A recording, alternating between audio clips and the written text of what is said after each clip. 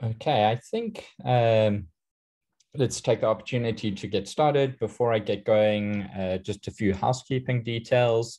Uh, this session is the second session. It's a repeat session of a session from earlier in the day. And the reason we did this is obviously uh, depending on the time zone, we wanted to make sure that everyone had the opportunity to attend uh, some of these sessions.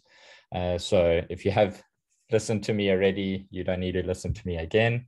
Uh, but um, I'm sure most of you um, are attending this session for the first time.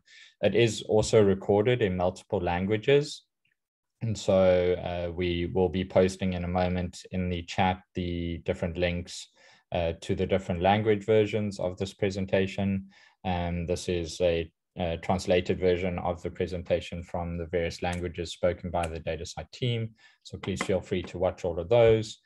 Uh, we also welcome any questions in, um, in, any of your own languages. We'll try our best um, across the team to um, translate and, and, answer any other questions that you may have.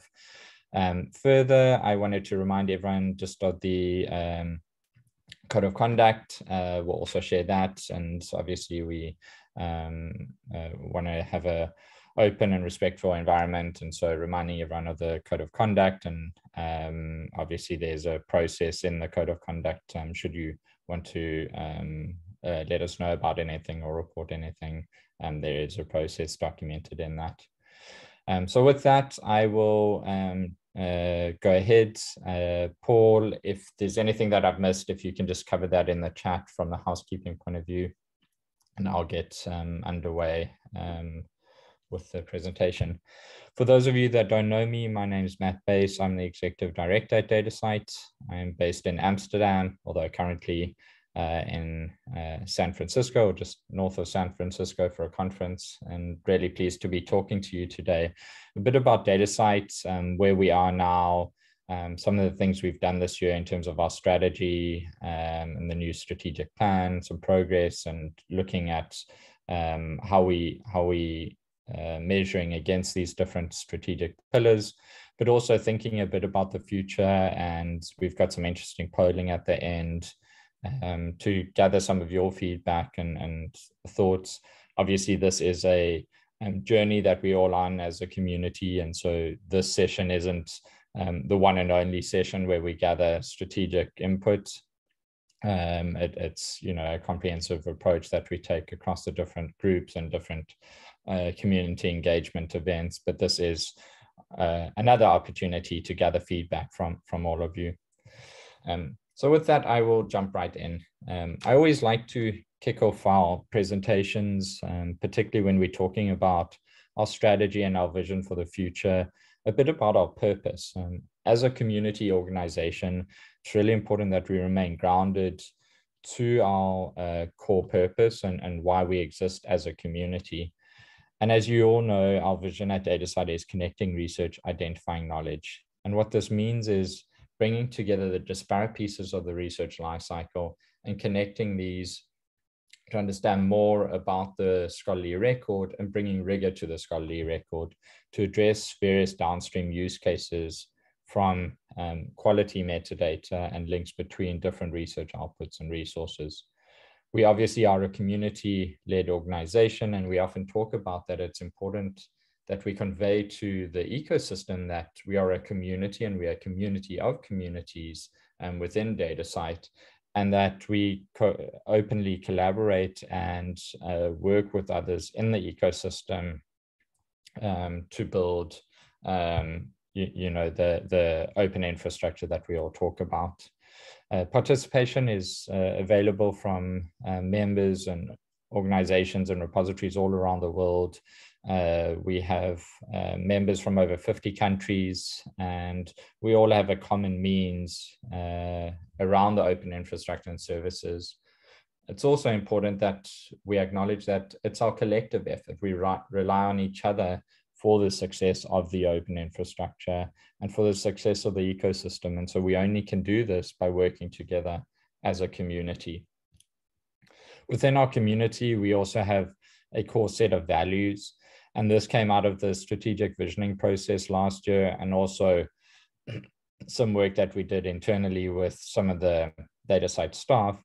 And everything that we do, we want to make sure that we underpin this with core values. And these are that we want to be uh, making sure that we develop and support reliable persistent identify services, that we transparent in everything that we do. So when we make decisions, when we um, have conversations about the future direction, that we do this in a very transparent and open manner. We uh, seek to be a trusted partner um, across the ecosystem, so as a community, but also importantly, as an open infrastructure, we want to make sure that we are a trusted partner for our members and other community stakeholders around the services um, that we deliver. And we want to make sure that we're inclusive and that we support a global community and value diverse perspectives. And we'll be sharing more in the coming months a bit about global access and some of the thinking that we have around uh, truly being a global organization and being inclusive and valuing these diverse perspectives because we recognize that there's more work that we can do in this regard. Obviously, there's some key drivers and there's some things that we want to recognize when we look at um, the entire ecosystem. Uh, you know, we want to recognize that there is um, an imbalance sometimes when it comes to the expenditure and the resources that are available to some of our community stakeholders.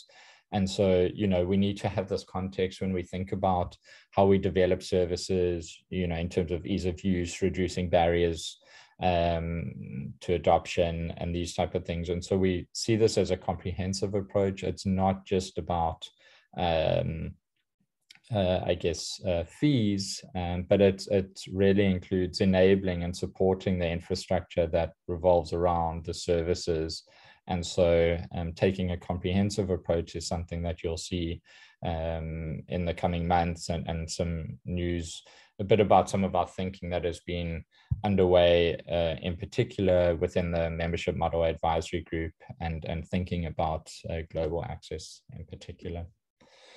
We obviously together want to make sure that it's sustainable infrastructure. And so this is really core and important that we want to make sure that the infrastructure is here for for the long term we talk about persistence and so we don't want to establish infrastructure that um, we as an entire community invest in many different ways and that's unreliable and so it's really important that everything that we do is built and and sustained in in in a very um, with a very long-term vision uh, also noting that infrastructure, and I use this image, can be confusing, can be complicated. And we want to make sure that we setting up very clear uh, pathways to adoption and also the ability for community stakeholders to realize benefits of the open sustainable infrastructure.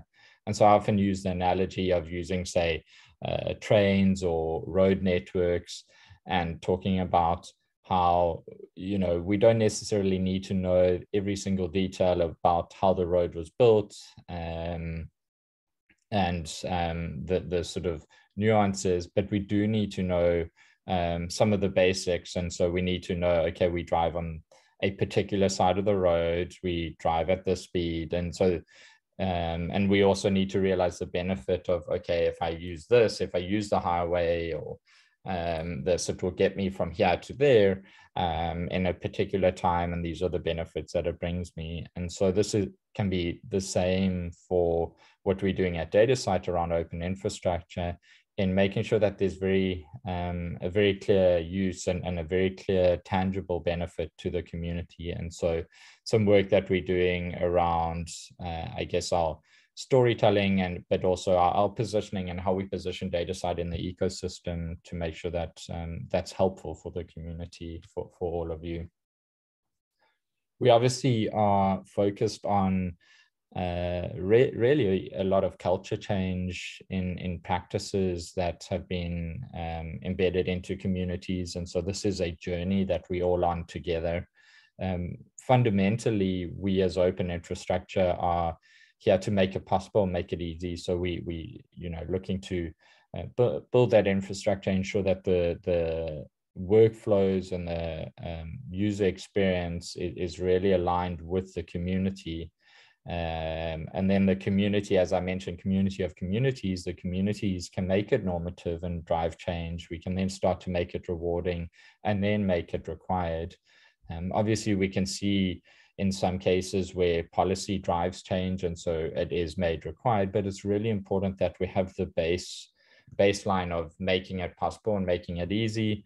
And then that in turn creates opportunity to make it rewarding and make it normative. And so I use one example of driving change in, in particular, uh, if we consider data citation and looking at how we as the DataCite community um, around open infrastructure can make it possible and make it easy. But it's also important that we start to make a normative, that we look to incentivize and create the incentive for um, authors to, to cite data and that we then, um, you know, coordinate with policymakers to make it required um, where, where, where needed.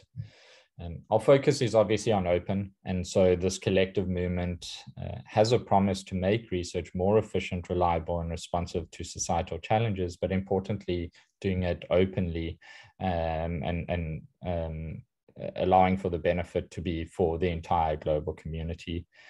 Uh, we want to focus on bringing the disparate pieces of the research lifecycle together, and this is really around bringing uh, to support supporting the reproducibility and bringing rigor to the scholarly record, as I mentioned earlier. And our practices, obviously, um, uh, when, when I talk a bit about a community of practice in a moment, um, you know, our, our practices and activities are around open access, availability, reproducibility, um, making it easier to really communicate the knowledge and advances in research and science um, across the different domains and disciplines. Um, we recognize that uh, the entirety of the research lifecycle is important. And so we're faced with the challenge that the current research articles provide only a fraction of the information required. Um, noting that the research article is a very um, very succinct and good description of the research study. And so I don't want to discredit anything around a research article. It is a very valuable research output that we have as part of the scholarly record, but also recognizing as the DataCite community that we want to make sure that we're able to fully evaluate the entirety of a research study. And so focusing on the entire research lifecycle is really important and bringing these disparate pieces together is, is really important. We uh, talk a lot about community, and I've mentioned that multiple times today already. And uh, our team, as well as the community engagement steering group and some of the regional expert groups, have focused on trying to articulate some of the stakeholders that are in, in our community and uh, this image here is an output of some of those discussions. Obviously, as I said, everything we do is iterative and we continue on a journey together.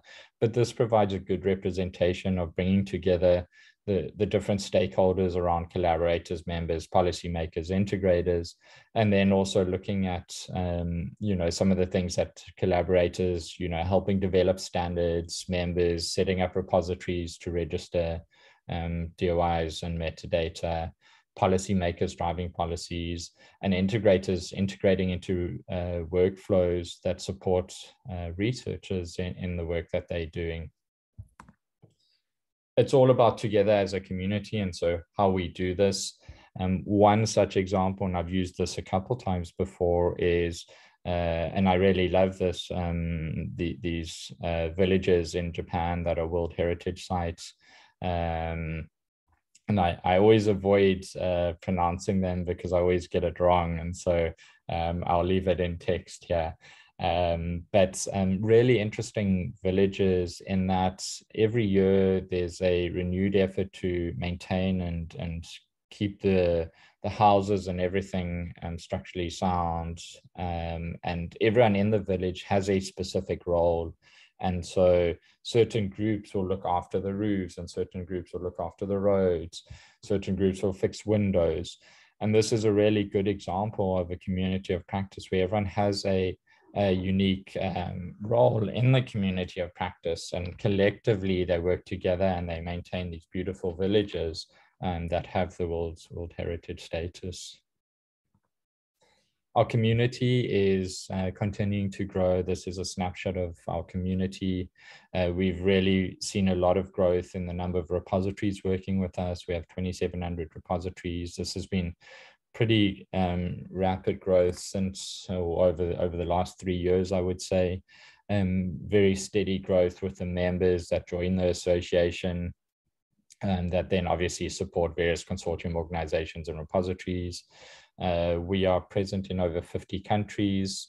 Uh, the DOI registration um, continues to increase. We'll obviously see um, a fairly uh, significant uptick over the next year or so, particularly with partnerships with IGSN and other folks um, around um, registration. And we support around 1,200 organizations. It's also good to, I guess, uh, talk a bit about our community and the different governance groups that we have at DataCite. And uh, if we reference the community of practice, we wouldn't be able to do what we do at DataCite without the governance groups. And so we have the General Assembly, which is the ultimate governing body of DataCite and the association. This is the members, and this is really important that we are for the community by the community and the ultimate decisions are made by our members. But also then we have the executive board that focuses on strategic uh, strategic activities around the association um, in accordance with the association statutes. Um, the board also has uh, terms of reference for the community engagement steering group, which also has sub expert groups. We also have the services and technology steering group, and we also have the metadata working group. And collectively, I think when I last had a look at the different number of positions across these groups, it was about 78 different people. And so these people also play a really important and significant role in helping us shape the future and actually move forwards as a community, representing the broader community, obviously. And so I also wanted to thank this group and um, all of you as the community because it is our collective effort and without all of our collective efforts we wouldn't be where we are today and i'm really proud about where we are as a community um, and and the future that we have i also wanted to um, I guess thank our amazing, wonderful team. Um, we had an opportunity earlier this year to meet in person for the first time in about two and a half years. So we um, spent some time in a forest in the Netherlands, and it was really nice to um, one just disconnect a bit and, and get to know each other better in person, which was really important for the team. We've had a lot of new team members joining. Um, and uh, really nice to to connect with each other. But also sit down and think openly a bit about you know how we can better serve the community and the different activities we have across the functional units within DataCite and there were some fun things nice discussions um, also some lego building from the engagement or sorry not engagement the engineering team um, using this as an opportunity to talk a bit about the infrastructure and services and it was a really fun experience and just thank you to the team for all you do for for the community and and um, driving us forwards towards our mission. Um, I guess jumping into then a bit about our strategic uh, strategy, and uh, this is our multi-year strategy. This was the culmination of a about eight months work last year in a strategic consultation with you as the community in thinking about the, the direction and the strategic focus where, where we put emphasis in our activities. And this helps create the blueprint for the activities each year. So we have our core vision, uh, we have our mission, and then we have the key three strategic pillars underpinned we have our core values in enabling then the DataCite infrastructure and services that we provide. So what I um, would like to do now is go through each of these strategic pillars. I'll talk a bit about some of the activities that are underway in each of these pillars, a bit of a status update of where we see these, and then also sharing a bit about some of the metrics that we've started to implement that help us track and measure against these strategic pillars to ensure that we are really executing against the, the I guess, uh, strategic focus that the community has set out. So jumping into pillar one, this was all about providing easier easy, efficient, and responsive community services to support the needs of our community. And so within this, um, there were some activities related to tracking our effectiveness in, in delivering value. And this is this uh, strategy to execution, uh, making sure that we can coordinate across functional teams. So within DataCite, setting up functional groups that have a very clear focus, consolidating various services and platforms. And so um, making sure that we uh, make the infrastructure easy and simple to use and focusing on links between, in particular, the metadata working group and DataCite members.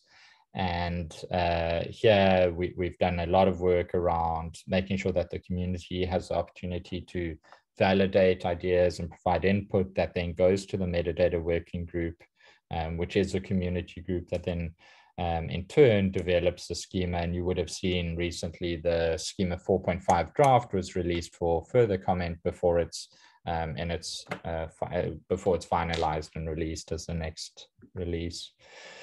In this strategic pillar, we've made some good progress, and particularly around evaluation and, and assessing our, our progress. Um, there is a bit more work um, that's needed and, and work underway around executing against some of these strategic priorities and indicators. Obviously, this is a multi-year strategy, and so um, work to be continued in this area. Looking into some of the metrics, we we did also have a discussion with our board recently around some of these metrics, and this was an initial I, I, guess, uh, baseline that we set out, but also we had a lot of discussion. And so you will see some of these metrics changing over time. But initially, we wanted to look at okay, let's look at the status of the annual vision activities. Uh, as you can see, a lot, you know, a lot has been done, but also a lot in progress and some that are still planned, not started. Um, this is is expected. A lot of activities are only scheduled to start in in Q4 of, of the calendar year.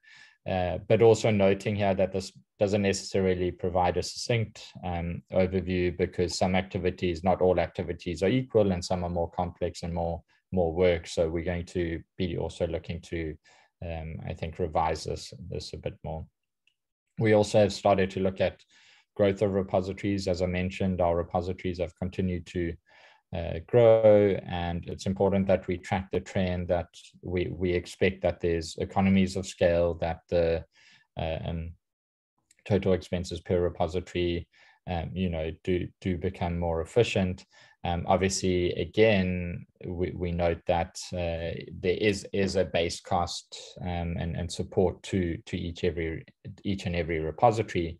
But you know through a global community, we all have the benefit of, um, I guess, realizing that that um, cost benefit analysis and, and that we are growing and, and benefiting from economies of scale. In addition, we've started looking at our support queries, in particular, looking at support queries that are related to service issues.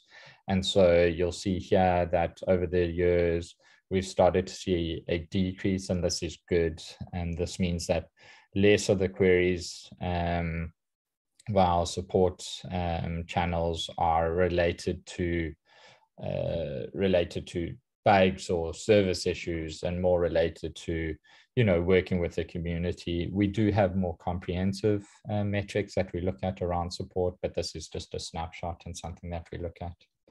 Within pillar two this was um, a big pillar of activity uh, connecting scholarly resources through metadata to bring rigor to the scholarly record and tracking research influence. Um, within the year, we, we set out to uh, look at improving metadata quality and providing member insights. Obviously, the next schema version, which has just come out, um, we uh, wanted to make sure that we can enhance the PID graph relational metadata and uh, provide dashboards and visualizations for repositories to look at some of this, uh, providing better statistics and data metrics, as well as the usage log processing service that we um, will soon be launching, which allows repositories to embed um, a snippet of code in your repository to track usage, uh, in particular views and downloads, and feed that into the open infrastructure. Uh, also supporting guidance and, and uh, adoption efforts around fair implementation and workflows, and enhancing some of the discovery solutions. So making sure that the, the metadata is discoverable and can be reused across the ecosystem. We making um, good progress in, in planning. Um, there is still quite a bit of work, as you saw from the status update um, in, in pillar one, one of the overall status updates across the pillars. Uh, we do have a lot of things planned. And so in particular, when there's services and things that are planned, we have um, done a lot of the product design work, but we haven't necessarily started um, some of the development work. So still quite a bit of work that needs to happen here, but um, we still um, have these planned and, and on the roadmap and are, are on track as, as, as planned. Uh, the metrics within this, we, we started to look at um, when we want to assess of the scholarly record and in particular looking at the connections, uh, we started looking at percentage of DOIs registered with related identifiers. So this is specifically in the related identifier field uh, with, I think, the, the 18 different related identifier types that we have, and then obviously the different relation types. But it was pleasing to see that we, we do have a good percentage of the DOIs registered with uh, related identifiers, and this speaks to sort of building that graph. Obviously, we want this to be higher. Um, there isn't necessarily a trend that we can see here, but it's something that we want to look into and possibly looking into um, how this varies across different resource types as an example. We also uh, looked at DOIs with persistent identifiers in the metadata, and so this includes things such as uh, ORCID IDs or ROR IDs in the contributor fields, anywhere that you can include a, a, a related identifier, uh, sorry, a persistent identifier in the metadata. Um, this was recognized. And also, again, um, a good percentage of, of the DOIs have, have relational information um, or related or persistent identifiers in it. We also looked at the resolutions. And so this was to, to look at, well, what is the reuse of, of the, um, the DOIs and the metadata across the data file. And if we look at a snapshot of different months in uh, July 2022, we had over 40 million uh, resolutions. Um, this was more than the DOIs that we had in the data file. And so really pleasing to, I guess, say that, you know, month, the, the monthly resolutions was more than the total DOIs. Obviously, a question is uh, related to, well, how much of that is machines um, and bots? Um, we, we do know at the DOI level, and we do track this, but it's something that we want to look at um, at the DataCite level. We do know anecdotally that it, it's um, it's probably you know I think around 25 30 percent of these resolutions is what we're seeing, but um, we we need to do a bit more detail and, and look at that before I can give you an accurate number on that. But really pleasing to see that resolutions are going up and, and increasing, and you can see quite an interesting trend over the last four years. Um, within pillar three, this was about identifying and connecting all resource types held by the research organizations globally. And this speaks to, uh, I guess, what we were saying around the entirety of the research lifecycle. And so there were efforts within this pillar this year around communicating our role across the community stakeholders. So lots of work with other collaborators, making sure that we provide trusted registration across services, uh, uh registration services across outputs and resources. And so I, IGSN IDs is one example, and you would have noted um, just this week we we announced the um, launch of IGSN um, ID registration services. This has been a lot of work and effort in uh, working through schema um, details and working with the IGSN um, partnership steering group um, in, in reaching this milestone. So a really important milestone and, and a lot of effort that's gone into that. And supporting the scaling of identified communities of practice, so working across communities, working with folks like the IGSN community and in joining the, the broader DataCite community and supporting the scaling of that community of practice, enhancing relational metadata and making sure that we provide the ability to demonstrate influence of research uh, for our members, for our repositories, and identifying gaps that we have in the community. Lots of work underway in this pillar. Um, not necessarily everything is completed, uh, but we have made some really good progress um, across these strategic initiatives um, and will continue to do so. Within this pillar, there's a lot more that we want to look at in terms of metrics. Um, we, we did have an initial snapshot of the, the largest used uh, resource types uh, across DataCite. Uh, we can see 86% of the DOIs are used across these types. A couple of things to note about this metric. We see a large portion of DOIs registered using text. Uh, in Schema 4.4, we released more granular uh, types, uh, resource types. And so this may tell us that um, not everyone has transitioned to using the new resource type. So if you're using resource type text, you may want to consider looking at some of the more specific resource types to, to provide that more granular clarity around the resource type that you have. One such example is preprint. And so you can see, and this is also with arXiv joining our community, uh, we we have seen a significant increase in, in preprint registration, but also noting that we didn't have preprints as a uh, dedicated um, resource type prior to schema 4.4 and so that's also why you see this increasing. A lot of preprints have been registered under text and uh, so this is something that uh, we're also working on. Um, and then you know physical object uh, objects continues to be a, a high um, resource type or resource type that's used frequently and will be used more and more also with IGSN ID registration services. In this pillar, we're also going to expand some of the metrics to include assessing sentiment, uh, partner collaborations, uh, looking at uh, engagement through the community events and how we interact and, and uh, what the feedback is through those events. So thinking about bringing this all together and uh, through open infrastructure and services, if we consider what what we do as a community and what the open infrastructure provides us. Um, at, you know, at its base, we, we look at the, the core being the ability to register DataCite DOIs and metadata to improve the discoverability and reuse of research outputs and a number of services that are provided within this context. We then work um, across the groups, across the different functional teams at DataCite to make sure that we can uh, walk on this journey together in adopting and implementing best practice and evolving those over time.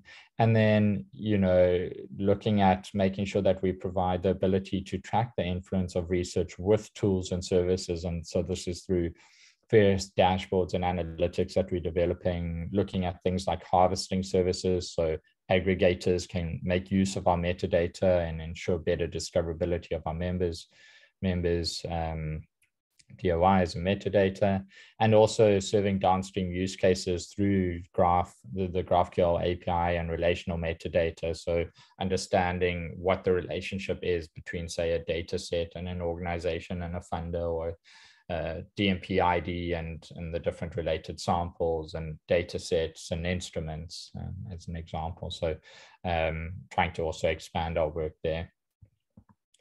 Um, finding connecting research, which is a bit about what I was talking about. So in our interface, DataCite Commons, you'll see we expanded and launched repository search. So this can be also searched within DataCite Commons and bringing together a number of open infrastructures in the ecosystem um, into one place and building this on top of the PID graph. Um, so looking at the number of nodes and connections, this continues to increase and allows us to understand more about the relationships between different entities within in the PID graph. Uh, important to maybe share that we, we view the, the growth and the expansion of the PID graph um, from I guess by using our data file, so you as our members, the the DOIs and metadata that you've registered as the corp as the sort of core corpus and building out from there, and then building relations across different identified types and, and across uh, resources in the ecosystem. Our practice is to collectively align uh, through our common mission and vision, uh, working together in this ecosystem and focusing on collective action to drive change through a community of communities approach. Uh, it's important that we work with communities and, and understand the context and, and the ecosystem within our sub communities to help support that better. So our future looking forwards, uh, if we think about vision to execution, we spent a lot of time last year thinking about the community, working with you or developing our uh, next iteration of the multi-year strategic plan. And it's now a phase of execution. And so we, whilst we have various things underway in terms of strategic operational activities and actually executing and measuring against that, we also have a, uh, a moment to refine some of our things. And so thinking about our story and our positioning, how we position DataCite as a community within the ecosystem, how we think about, you know, our branding and what, what we eh, look about, how we think about engagement across the ecosystem with our members, with, with new members of our community, and also how we're building and developing enhanced open infrastructure services for the community is really important. So with that, I want to jump into a brief poll, um, a couple questions. Um, you'll note that there's already um, some items in there, and that's from the previous session that we had with this. And I made the decision to actually keep the same poll because uh, this was um, it would allow us to collect it all in one place. So um, if somebody can, I think we'll post in the channel the Menti poll, or you can scan the QR code here. Um, and I will take a moment to just quickly switch across to that. Also, feel free at any stage uh, to uh, post any questions in the Q&A. We will come back to them. We'll, we'll have a moment briefly after the polling uh, and can do that. Uh,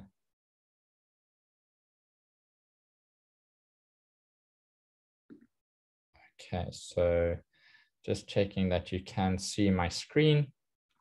Um, so um, the first one is, if you were to describe DataCite to a colleague in one sentence, what would you say?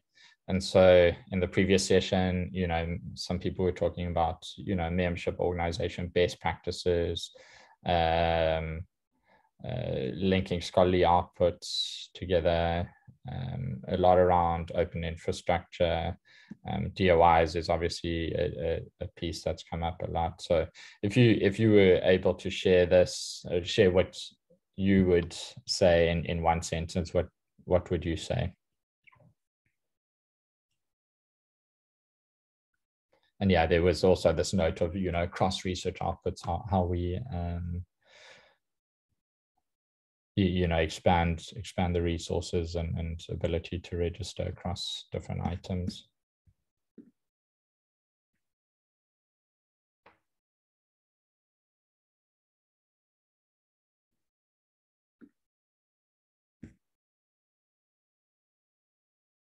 Yeah, so really important here, yeah, non-article, non-data set items, um, as you saw across those resource types that are used.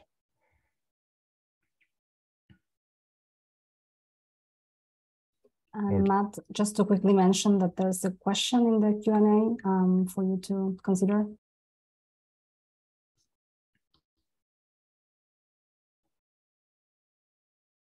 Yeah, so the question is around, do we plan to work with CRIS providers to embed a data metrics badge um, and making, you know, data sets available through, say, um, Pure, which is an Elsevier CRIS system. Um, and so the, I guess the short answer is yes, this also came up in the previous session, a bit about engagement within our service provider program and uh, being able to uh, work with them in implementing things for our community. So um, it is something that we've noted and we'll, we'll come come to. Um, so I, I think a lot of the service providers have been around repositories, but there has been increasing, you know, talk around uh, engaging also more with uh, providers as well. So and something that we we would look at. Um, you know, some people talking here also about service provider,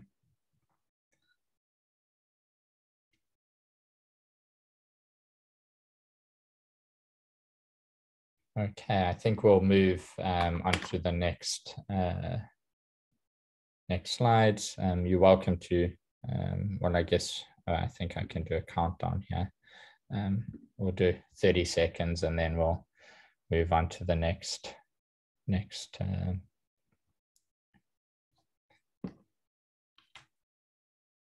and this, uh, to give it some context, is some of this is working around the, the positioning and our storytelling. So taking this into some of that thinking that we're doing, we actually have a consultant working with us on this and, and focusing on um, how we how we position and talk about uh, DataCite.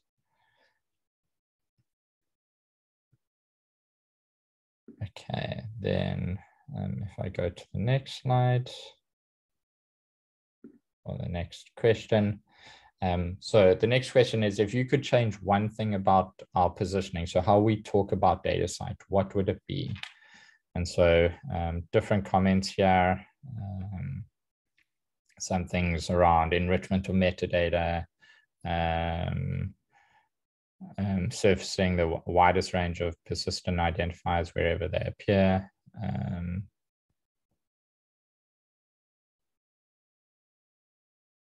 um, some things, you know, that overlap. So that's something that, you know, somebody called out is, you know, how do we differentiate? How do we make sure that that's clear? It's confusing across the RAs. And so that's also recognized. Um, DOIs for funding and yeah, so thinking about, you know, particularly grant IDs and, and this fits into that pillar three around across um, outputs and resources and, and um, that are helped by institutions. We also know a lot of our members that are not necessarily traditional research funders themselves, but also have um, are, are, very involved in or do have funding that they provide for research to support research and helping support those workflows as well.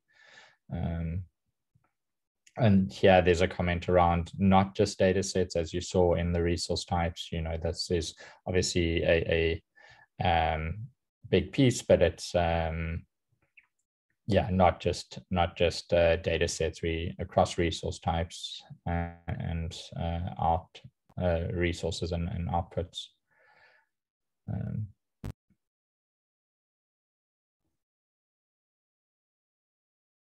Okay, I think I will jump to the next one. And then, so uh, this one is around your impression on, on rate of change. Obviously, we recognize that um, there's uh, uh, a, um, a multi-year plan. And so we expect that uh, we haven't achieved everything, but how would you assess the, the progress that has been made across these three pillars? So if you give an indication of well, you, from your impression, do you think there's good progress being made here or less progress. We recognize that there's still a lot of work to be done, and, and that's natural with a multi year strategic plan. Um, but uh, just getting, a, a, a, I guess, a bit of um, understanding and sentiment in, in the uh, group here today of, of where we are. And so I'll also put um, a timer um, so we make sure that we also have an opportunity to have a few few questions before closing. And Matt, while we're waiting, uh, there's also another question on the Q&A box. Okay. Um, yeah, so a comment around uh, clarifying the scope, the uniqueness of services uh, DataCite provides would be ideal. Um, yeah, so you you know uh, costs can can be a factor uh, against competitors, um, you know, and, and and the pricing. So you know, noting that um, as an example, well, with Crossref. Um, DataCite is less than than Crossref, but it depends on the volume, and so we do have a different model in that um, we don't have a linear model as, as an example, so it's not linear per unit. Um, so we recognize that at, at, at, economies of scale, as you register more, that there's not necessarily a linear cost associated to that. And so when we did the membership model, we um, focused on understanding the resource costs and working on a cost recovery basis. So making sure that we are sustainable um, at its core. Um, but definitely a good comment um, around that and, uh, you know, clarifying the message I, I think is really important. And also, you know, I think a lot of what came up in the earlier session is that we want to make sure that we articulating that we are a community working together and it's not just a, I, I guess, service that being said, we also know that as, as members, you need to justify the cost and expenditure internally, um, and that's really important. So definitely something that we'll take on board. Okay, and then the final poll um, we will move to is, um, oh, what happened? Um, oh, there. Uh, the final uh, question is to uh, look at prioritization for uh, strategic activities in 2023. So if you could have a brief look at how you'd prioritize this. Um, and I'll also put a brief timer um, on this. Um, we'll put um, one minute. Um, and so um, a lot of uh, emphasis placed on the accelerated metadata completeness, consolidating use cases and tracking identified research outputs and resources throughout the scholarly lifecycle, scholarly, uh, uh, scholarly research lifecycle. Um, this was also something that came up a lot is ingesting uh, metadata from from additional sources. And so this is that relational metadata. So if you're registering uh, a DOI with DataCite we're able to detect from additional sources oh this has been cited by or this has been used. Um, and and the relationships between that so providing a lot of um, better better I guess uh, insight into to the registrations that you have um, proactive steps has also been a big one around being the trusted uh, PID community uh, service partner for research organizations in, in across these research outputs and resources.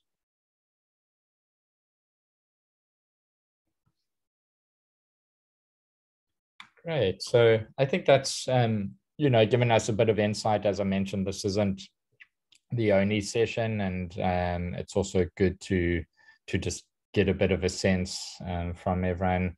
We do have a few moments, um, and we do, we do then plan a, a, brief break before the next session in, in the member meeting. There are further sessions if you'd like to attend for the day.